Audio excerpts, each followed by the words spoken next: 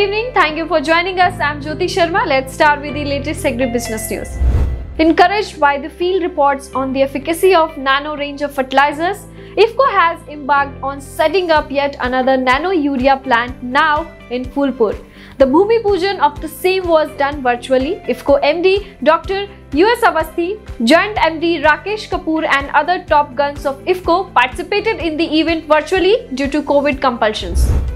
Honorable Minister of Railways Shri Piyush Goyal launched the Startup India Seed Fund scheme. The funds aim to provide financial assistance to startup for proof of concept, prototype development, product trials, market entry and commercialization. Piyush Goyal has said that the scheme is being launched within 3 months of its announcement, one of the fastest in the recent times. He said that times are tough but our resolve is strong and never before it has become more important for us to empower our startups.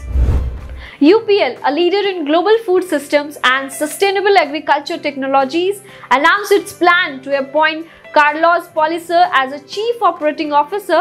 Pellicer has been a key architect of UPL's integration of Arysta.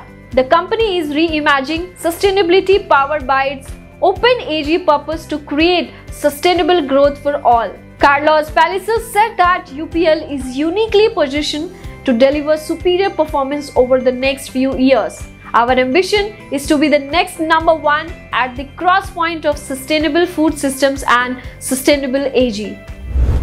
Nestle last year published a roadmap laying out how it will achieve the goal of net zero emissions by 2050.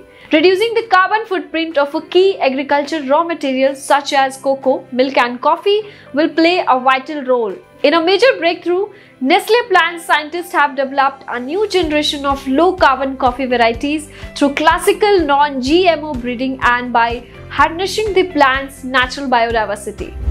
Valagro, a leading company in the production and commercialization of biostimulants and other specialty nutrients, is launching the new edition of its global project Valagro for future farming. The goal is to continue strengthening its commitment to building the agriculture of tomorrow in its main target markets by developing and offering increasingly innovative, sustainable and effective solution and technology. For more agri updates, keep watching Krishi Jagran. Thank you.